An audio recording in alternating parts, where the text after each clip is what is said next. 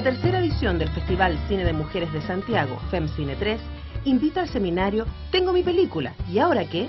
Para directoras, directores, productoras y productores trabajando en su primera película. Las claves para aprender a comunicar, festivalear, distribuir e internacionalizar tu trabajo, entregadas por personas claves de la industria audiovisual. Sábado 23 de marzo de 9 a 14 horas en el Centro Cultural Gabriela Mistral.